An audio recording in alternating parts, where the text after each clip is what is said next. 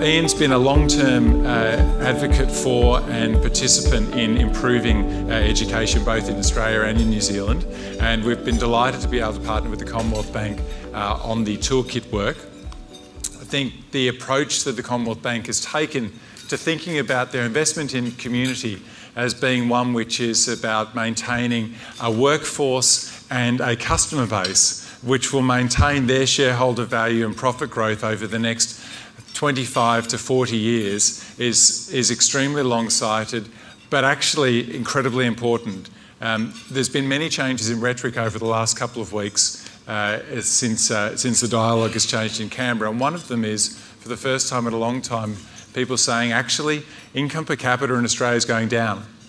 And if we don't do something about that, then we're actually all on a trajectory that we're not, uh, not going to be very happy about. Investments in education is a critical component of making sure that that, uh, that future is not one uh, that we pass on to our children and our grandchildren. Ian, delighted to have you with us. Looking forward to.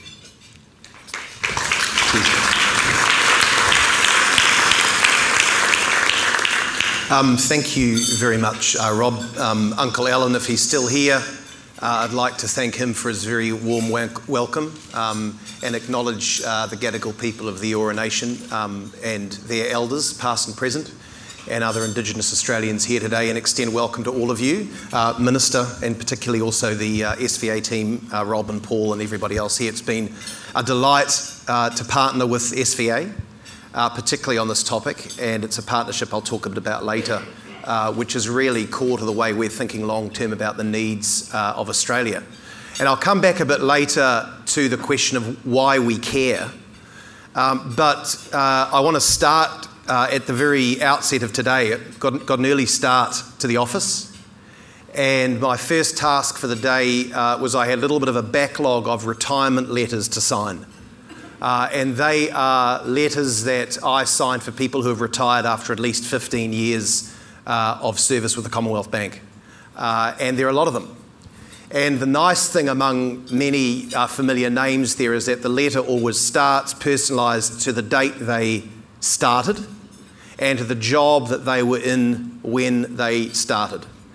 And so today I signed letters for people who had started as a customer service typist, uh, a post office clerk, a file clerk. Among these letters, those were uh, three of the starting jobs that stuck out to me.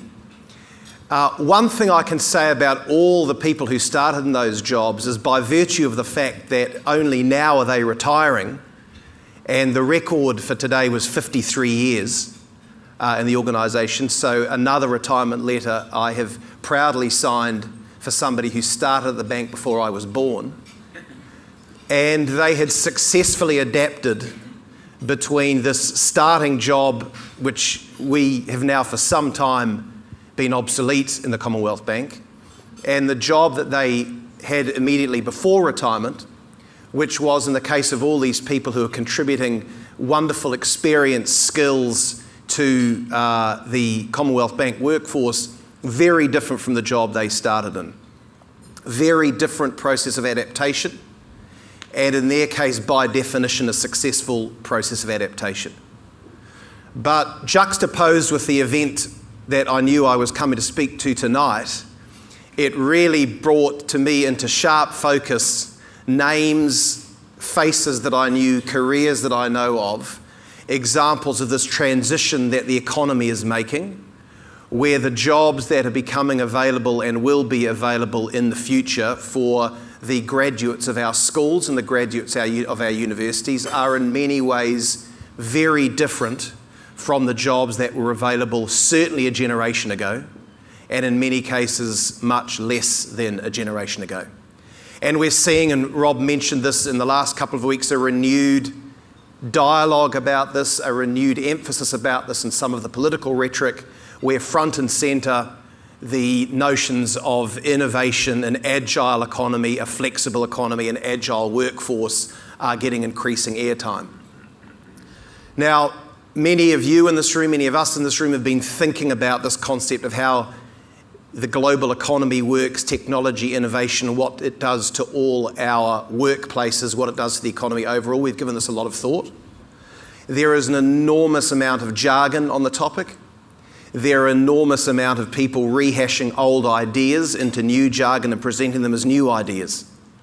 And the job of all of us is to sift through a lot of the platitudes, a lot of the slogans, and actually work out what is the fundamental change that is happening and what is the role for all of us as leaders of institutions and participants in, in institutions to prepare ourselves for that change and to effect that change. And the education system is front and centre of that debate. Everybody can agree that in the economy that we are contemplating, in the economy that we are talking about, the education sector has an enormous role to play. What we're not sure everyone can agree on is what that role actually is, how it plays that role, and how different that role is from what has been done to date or in previous years. Now, on that topic in this audience, uh, Rob has already uh, claimed for himself the title, which I'll dispute, of being the least interesting speaker of the night. What I can at least say is I'm the least qualified speaker tonight. And I want to be clear that in talking about our approach to this uh, from the Commonwealth Bank's perspective, we are not experts on education. And we will not purport to be experts on education. And in our role in working with schools, with principals, with teachers, with other players in the educational sector, we're not going to use our participation as a way to get some kind of philosophy in education through the education system. We're going to leave that to people who really understand the education system. The perspective that we can talk a little bit about is really, from my point, from, from two different angles.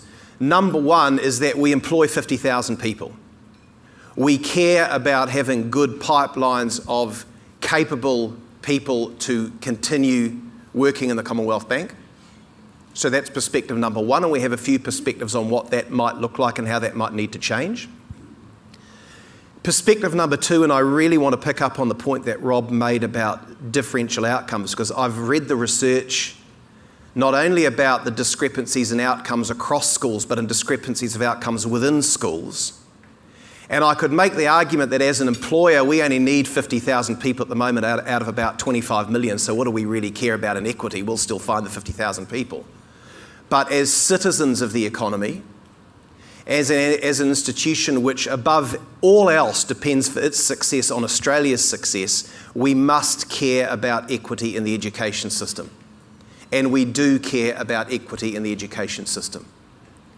So our comments are without educational expertise, but they're very much made from the perspective of an employer and a concerned participant in Australia's future success, which depends to a very large extent on the success of its education system. So, with that background and with those disclaimers, what are some of the things that we think about? And I do have only three points, I don't have the other seven. I might borrow a few of yours and rehash them. And they're really around three things. Number one is around the definition of what the basics are.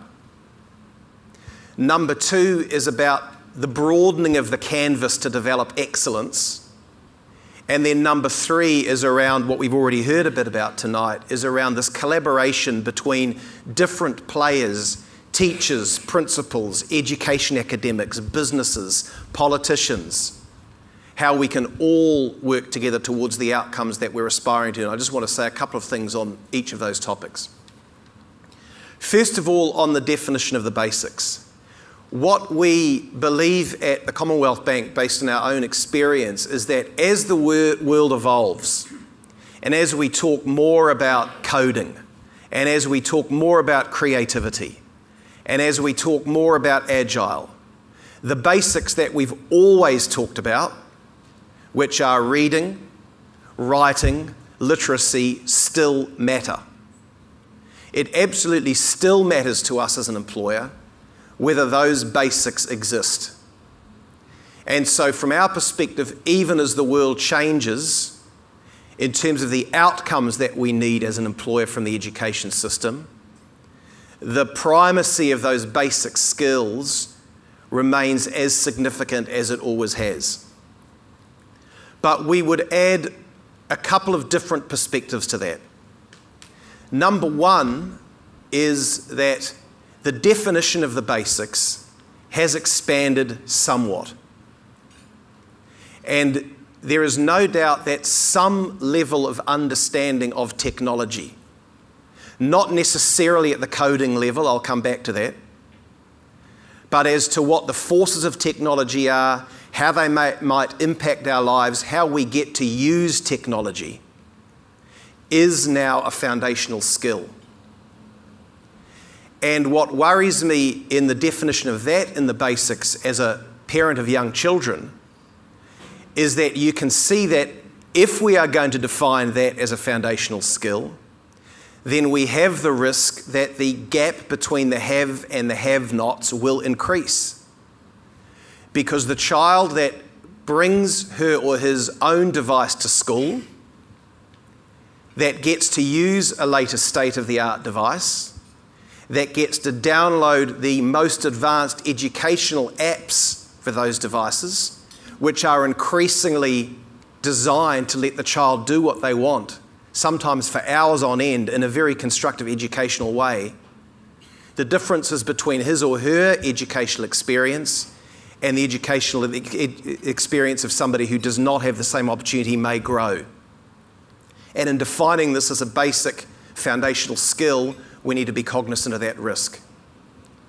The other area in which we believe the, the basics need to be thought about is financial literacy, in our experience, is a core foundational skill.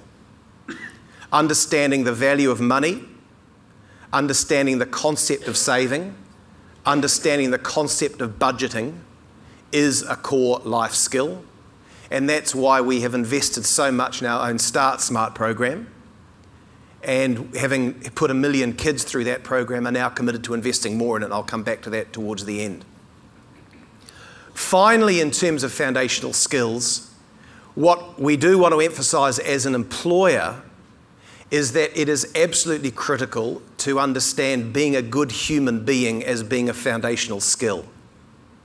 So many of the themes that we are trying to emphasize at executive level good values, good integrity, gender neutrality, embracing people from different ethnic, national backgrounds, embracing people who come from families of two dads or two mums, creating a work environment where you can thrive regardless of whether or not you have a disability. These go back to fundamental values and morals which we want to build in our children from the earliest ages possible, and we see that the schools have a role to play in that. So, message number one is that the basics are as critical as ever. We just need to make sure we're broadening a little bit the definition of what those basics are. Theme number two is this canvas of excellence. So, we've talked a little bit about what the basics are. We've then heard a lot about the fact that the economy is becoming increasingly global, and Australia is subject increasingly to global competitive pressures, which I think we can all now accept as an undeniable fact of the direction in which the world is going.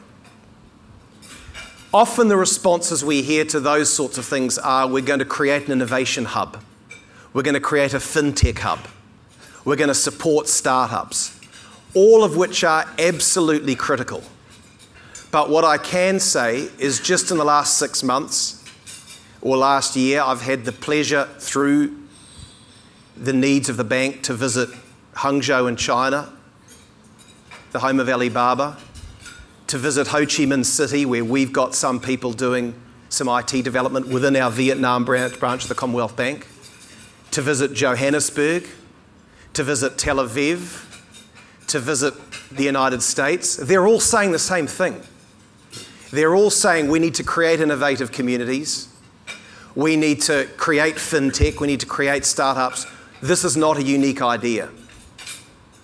So the question comes down to how are we going to prepare ourselves in an environment where there is increasing global competition and everyone's onto the same themes. And the thought I'd like to, to seed among the educational experts here is the concept of making sure our children understand the range of potential options open to them to be great creative contributors to our community and to the future of the economy. We often say that in light of the changes in global competitiveness, the key skill we need is more coders. And in fact, we do need more coders. But an equal skill in this global economy is basic creativity, creative thinking. The creative thinking that sometimes comes from being an expert in learning English or in learning art history or having a passion for the performing arts and bringing that into the realm of what we can excel at. And seeing that kind of collaboration from people in different disciplines is extremely important. It's also very important that for an economy which will attract foreign investment, foreign immigrants, people who want their children educated here, and visitors, that we're preparing people in our schools to excel in the disciplines on which a strong service economy can thrive. So, point number two is to make sure that in defining excellence, in defining the things we want to excel at in this new world, we don't limit ourselves too much to these new skills of coding, entrepreneurialism, etc., which are important but, which are only a small part of the big picture. And finally, on the last point, the collaboration. And what I think the essence of the dialogue is here tonight, and why we're so excited to be part of it and be part of the partnership that we have generally with the SVA. One of the great challenges in education is everybody has an opinion. And it often starts with, I know I'm not an educational expert, but when I was at school, or, but I am a parent and this is what I observe, and we're committing the exact sin that our marketing departments tell us never to commit, which is assume you are the market, assuming your own experience is actually exemplary of what the entire answer is. And if we don't allow that in business, we shouldn't be allowing it in education. And so our approach inside the Commonwealth Bank is very much one of partnership, where we understand what we think we can add, which is in the areas of financial literacy, in the areas of our reach into Australian schools, and we partner with people who are doing that extremely well. And I want to emphasize here that for all the legitimate and very important public debate, about ensuring high levels of teacher quality, high levels of capability in pedagogy in the schools, what we see through our lens is that there are many, many outstanding men and women already doing this job in Australian schools at the level it needs to be done to have exceptional outcomes. And part of our approach is to work more closely with those people and to help them as the real experts in delivering where we can be helpful. So it's very important that this broad area of partnership and ecosystem that we're all building has a structure and it's designed around the basic principle that the outstanding outcomes will be achieved by terrific school, schools run by outstanding principals leading strong teachers. And it can often be the simplest things. One of the most poignant experience I've had, and uh, my spare time, I have been involved in the last 10 years as in a, in a non-profit New Zealand which works with principals of low decile schools. And I was helping introduce a business to a school which wanted some help. And the business had this long list of ideas on how it could help the school. And the principal said, I'm not, not interested in any of these things. Here's what I'd like you to do I'd like you to provide 10 male executives to come to the school at lunchtime with a book and read the book. And the response was, You mean read the book to the children? And they said, No, read the book. And the whole idea of it in this school, in a very difficult part of South Auckland, was young kids could see that grown men actually sit down and read. Now, we would never have thought of that in all our genius in our ivory tower trying to work out how to support the education sector. But it's absolutely critical that this broad ecosystem, the kind of things that the SVA is leading, are all structured around the most important delivery mechanism for great educational outcomes, which is the schools. And on that note, I finish on a positive point, which is our view on this topic is one of the great strengths of Australia is the ability to bring the key stakeholders all together in a relatively small room. We're an economy with the scale to actually do great things, but the intimacy to actually bring leaders from different sectors together to think together. And I think if we can keep doing that, and if we can role model outside the day or two days of the dialogue what the SVA is trying to create here, then the outlook for education in Australia and therefore for the economy in Australia is very rosy. Thank you again for the invitation and enjoy the evening.